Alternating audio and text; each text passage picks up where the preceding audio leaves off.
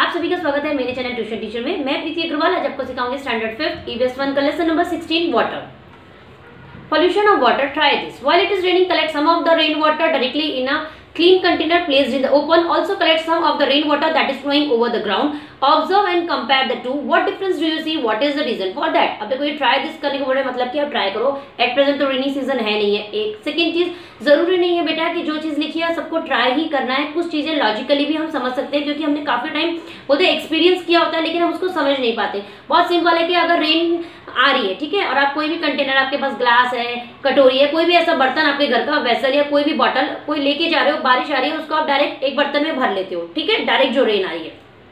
और एक जो नीचे ग्राउंड में गंदा पानी, मानो भर जाता है, बारिश आके जो जमा हो गया, वो गंदा हो गया ऑटोमेटिकली वो दोनों को आप देखते हो, वो बड़ पानी, वो भी बर्तन जो पानी है, वो भी किसी बर्तन में भर लेते हो और जो डायरेक्ट अपने रेन का वाटर लिए वो भी भर लेते हो। तो कौन सा क्लीन मिलेगा? जो डायरेक्ट अपने भरा है और जो नीचे से उठाया वो गंदा है। रीजन क्या है? जब भी वाटर रेन आती है तो वो तो एकदम क्लीन रहती है, ठीक है ना? वो गंदी कैसे होती है? जो नीचे हमारे डस्ट होता है या जो बोलते हैं ना, हम कचरा वगैरह फेंक देते हैं, उसमें मिक्स होकर वो वाटर कैसा हो जाता है? पॉल्यूटेड हो जाता है, ठीक है?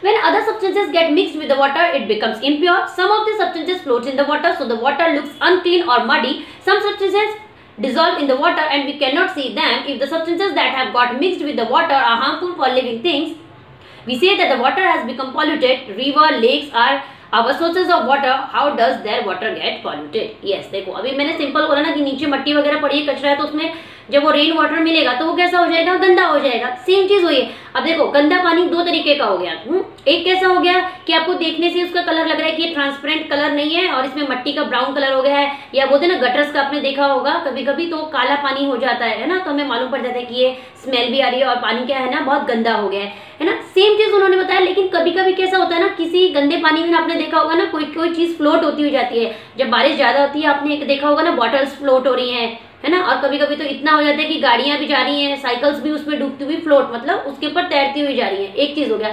सेकेंड चीज़ कैसा होता है कि पानी हार्मफुल है, लेकिन उसके अंदर ना आपको पता नहीं चलेगा ऐसी क्या चीज़ उसमें मिली हुई है।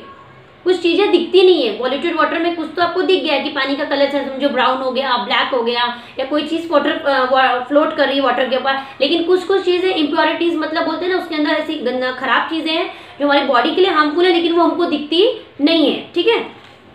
Can you tell? Listen, list the substances that are mixed in the waste water drained out of the kitchen and bathroom in your house देखो सिंपल चीज़ अभी किचन में हम बर्तन वगैरह धोते हैं खाने का झूठा रहता है चाय पत्ती है चाय है ये सब गंदा हो गया। बाथरूम में हम अपने बॉडी को क्लीन करते हैं ठीक है? बाहर से आए हाथ मुँह धोया तो पूरा डस्ट वो सारा उस सब्सटेंसेस उसमें आ गया। You know disposal of wastewater the wastewater of a city or town is collected and let into a, a water body at a convenient location the wastewater from a residential building as well as from factories and industries contain many kinds of impurities some of these dissolve in the water while some do not अब देखो उन्होंने सब चीज़ अच्छी बताई ना कि देखो जो वेस्ट वाटर होता है जैसे कि फॉर एग्जांपल अभी मैंने इधर बाथरूम का बताया किचन का बताया तो वो पानी जो होता है वो कहाँ उसको बोलते हैं ना आउट करेंगे बोलते ना, उसको जो पानी है, गंदा, उसे कहाँ छोड़ेंगे? वो कोई एक कन्वीनियंट लोकेशन जहाँ पे गंदा पानी ही रहे, कि वो साफ़ पानी से जाके मिक्स ना हो, क्योंकि अगर वो मिक्स हो जाएगा तो जो हमारे घर पे पीने का पानी आता है तो हम वो पी पाएँगे, नहीं पी पाएँगे ना, ऐसा। चाहे वो हमारे घर का हो, चाहे फैक्ट्रीज का हो या इंडस्ट्रीज़ का हो, ठीक है? उसमें जो भी इम्प्योरिटीज होती है वो बोलते ना एक कन्वीनियंट लोकेशन में उस पानी को छोड़ दिया जाता है। और उसमें एक चीज़ उन्होंने बोली some of this dissolve in the water and file some do not कोई कोई गंदगी, बोलते हैं ना, ऐसा गंदा चीज़ पानी में डिजोल्व हो जाती है, मिल जाती है और कोई कोई चीज़ें नहीं मिलती हैं। ठीक है? अपॉल्यूटेड वाटर बॉडी अब यहीं से अगर पिक्चर आप टेक्स्ट बुक इसमें देख लेना, कितनी इमेज क्लियर आपको आ रही है। और बाकी नहीं तो अपने टेक्स्ट बुक में भी देखो, आपको है ना वाटर में ये ब्लैक ब्लैक दिख रहा होगा, है ना? ये कितना गंदा लग रहा है। Sewage water can carry microorganisms that spread disease. Wastewater from industries is more likely to contain poisonous substances. If all this wastewater is let into water bodies as it is, the, the water uh, bodies become polluted and that is dangerous. Such water cannot be used for drinking or for any other purposes. That is why it is compulsory for factory owners to treat the water before letting it out. Similarly, sewage and other wastewater of towns and cities is processed for for purification before letting it into a water body. This helps to prevent pollution of water. Yes, ये तो मैंने देखो पहले ही आपको बोला ना कि जो चाहे वो किचन का हो, चाहे हमारे बाथरूम का पानी गंदा हो, चाहे इन मैंने बिल्डिंग्स बोला फैक्ट्रीज इंडस्ट्री इन है ना, उसका जो पानी, वो जो लेट करते हैं ना मतलब बाहर जाता है पानी, वो एक कन्वीनियंट लोकेशन होना चाहिए। हमारे जो घर में साफ़ पानी आता है ना, चाहे वो ड्रिंकिंग का हो क्लीनिंग के लिए हम यूज़ करते हैं तो उसमें वो पानी मिक्स नहीं होना चाहिए। नहीं तो वो क्या होगा, हमारी बॉडी के लिए काफ़ी हार्मफुल होगा। तो इसमें उन्होंने बताया कि जो फैक्ट्रीज का वाटर होता है ना ऑनर्स जो होते हैं फैक्ट्री फैक्ट्री जो रहती है ना, उसके जो मालिक होता है, उनको भी ये बात को ध्यान रखना चाहिए कि उनके यहाँ भी जो वेस्ट वाटर जा रहा है ना, वो हमारी जो वाटर बॉडीज है रिवर्स हैं, जिधर से हमें वाटर मिलता है लेक्स हैं, उसमें जाके वो मिक्स ना हो और हमारा जो वाटर है ना, वो पॉल्यूटेड ना हो। वो उनके लिए भी अच्छा रहेगा फैक्ट्रीज ऑनर्स के लिए और हम पब्लिक के लिए भी ये काफ़ी अच्छा रहेगा। Flowing water of rivers get purified to some extent by natural process also अब देखो रिवर्स में जो गंदा पानी नहीं डाल रहे हैं, उनको समझ में आ गया कि वेस्ट वाटर को हमें एक अलग जगह पे छोड़ना है फ्रेश वाटर के साथ में मिक्स नहीं करना है। लेकिन तो भी, आपने देखा है ना घर में, पानी जो हमारे आता है, वो साफ़ वाटर दिखता है एकदम। अगर आप देखो तो क्लीन दिखता है, कोई गंदा ब्राउन या ब्लैक कलर का नहीं दिखता है। कभी कभी मट्टी का पानी आता है तो थोड़ा अलग दिखता है। लेकिन आप नॉर्मली देखेंगे ना तो भी कोई कोई लोग क्या करते हैं ना, वो अपने घर पे फिल्टर्स रखते हैं ना? लेकिन जो फ़िल्टर एफर्ट नहीं कर पाता, खरीद नहीं पाता तो कोई कोई आपने देखा होगा प्लास्टिक के आते हैं, वो नल में लगा दिए जाते हैं ना? कोई कोई कपड़ा यूज़ करता है और कोई कोई है ना एलम आता है एलम को यूज़ करता है, ठीक है? Before water is supplied to a town और city it is purified yes देखो, जो भी वो वाटर हमारे आता है ना, चाहे वो टाउन में सिटी में आए ना तो उसको पहले क्या किया जाता है? प्यूरिफाई किया जाता है, ठीक है? देन नेक्स्ट देखते हैं Do you know if large quantities of impurities get mixed with the river water, the natural process of purification cannot keep pace. The proportion of oxygen dissolved in the water is reduced and this is a threat to the aquatic living things. अब देखो अगर river में है ना ज़्यादा गंदा पानी कर दिया जाता है तो जो उनका नेचुरल प्रोसेस से है ना वाटर को प्यूरिफाई किया जाता है ना वो नहीं हो पाएगा एक हद तक ही बोलते हैं ना चीज़ क्लीन हो पाएगी जब फॉर एग्ज़ाम्पल अगर हम बोले ना कि हम गंदे हैं, मानो, ठीक है? तो हमको अगर बोला कि जाओ थोड़ा सा हाथ मुँह धो लो तो हल्का सा पानी से मुँह धो लेते हैं तो लगता है फ्रेश हो गया। लेकिन अगर हम साबुन से धोते हैं, है ना? तो कैसा लगता है कि हाँ एकदम फ्रेश हो गया। सेम चीज़ रिवर में भी ऐसा ही है कि थोड़ा बहुत गंदा है जो उनका नेचुरल प्रोसेस से प्यूरिफाई कर सकते हैं, वो हो जाएगा। लेकिन अगर ज़्यादा गंदा है तो उसके लिए वो चीज़ हम नेचुरल प्रोसेस को प्यूरिफाई करने के लिए वाटर नहीं यूज़ कर सकते। और उससे क्या है ना एक्वेटिक जो लिविंग थिंग्स है ना, उनको हार्मफुल एक्वेटिक क्या हो गया जैसे फ़िश है वाटर के जो एनिमल्स हैं, उनके लिए बोलते ना वो थ्रीट है। ठीक है?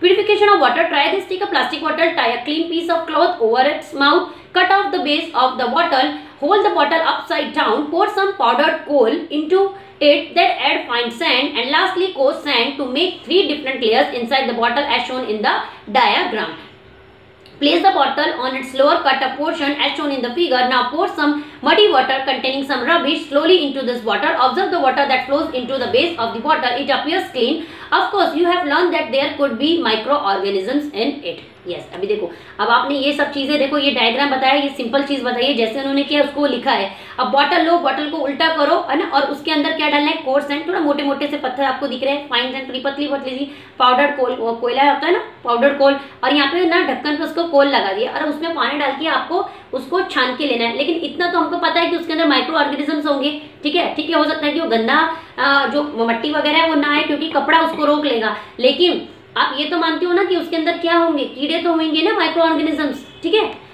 Water works visit the nearest water works along with teacher teacher obtain permission to interview an official They are to learn about the purification process. You may ask the following question. What source of water is used for the public water supply system? How many liters of water are purified every day? What processes are used to make the water clean, transparent and germ free? In what order are these processes carried out? What is done to rid the water of bad smells? अब देखो ये तो कैसा है ना आपको visit वाला system है कि आप कहीं पे जहाँ पे वाटर का प्यूरिफाई का होता हो वहाँ आप जाएँ और इस तरीके के क्वेश्चंस करें कि उनका पूरे दिन में वो कितना वाटर प्यूरिफाई करते हैं है ना और ये जो पानी लाते हैं वो कहाँ से लाते हैं और वाटर क्लीन दिखना चाहिए ट्रांसपेरेंट दिखना चाहिए, है ना? और वो जर्म फ्री होना चाहिए। तो उसके लिए वो क्या चीज़ यूज़ करते हैं? और are this process carried out और ये जो प्रोसेस होता है ना इन व्हाट ऑर्डर मतलब किस तरीके से वो करते हैं? और कभी कभी आपने देखा होगा ना, हम पानी पीते हैं ना तो उसमें कभी कभी ऐसा लगता है कि स्मेल आ रही है पानी में, है ना? तो वो स्मेल ना आए तो उसके लिए वो क्या करते हैं?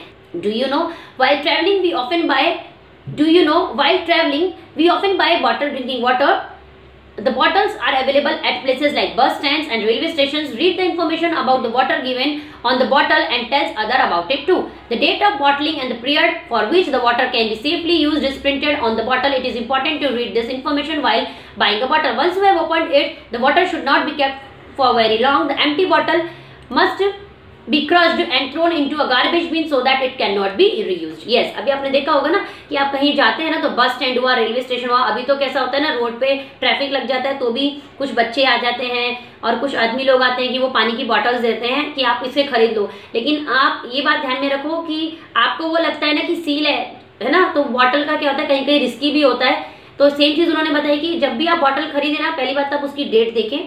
ठीक है प्रिंटिंग डेट देखें कि वो कब मैन्युफैक्चर हुई है है ना, और वो कितने दिन तक चलेगी, है ना, उसकी एक्सपायरी डेट देखें, और उसके बाद आप पानी पिए। जब आप पानी पिए ना तो इस बात को याद रखिए कि बॉटल को ना क्रश क्रश बोलते ना, आप उसको या तो तोड़ दो, ऐसे दबा दो, ताकि कोई उसको, है ना, वापस से यूज़ ना करे और कौन सा भी पानी डाल के, ढक्कन लगा के, है ना, आपको या दूसरे किसी को वो बॉटल का पानी बेच सके। ठीक है, ये बात को आप ध्यान रखिए। Can you tell if at some places it did not rain for a very long period of time, what would be its effect on the life of the people there? Yes, अभी ये आपको बताना है कि अगर बारिश नहीं होती है है ना तो वहाँ के लोगों के ऊपर क्या असर होगा बहुत ज़्यादा बेकार असर होगा ना, क्योंकि क्या होगा, बारिश नहीं होगी तो आने वाले कल में हमें पानी नहीं मिलेगा एग्रीकल्चर वालों को वाटर ज़रूरी रहता है तो एग्रीकल्चर के क्रॉप्स नहीं होंगे तो पूरा बोलते ना, सबकी लाइफ साइकिल जो एक तरीके से ना, वो कैसी हो जाएगी डिस्टर्ब हो जाएगी। तो ये लेसन काफ़ी बड़ा है तो इसको अभी लेक्चर वन के लिए मैं यही स्टॉप करती हूँ, और मिलते हैं फिर एक नेक्स्ट लेक्चर टू में। अगर वीडियो अच्छा लगा हो तो वीडियो को लाइक करना शेयर करना।